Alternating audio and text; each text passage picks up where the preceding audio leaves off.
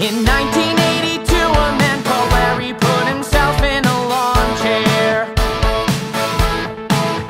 Got some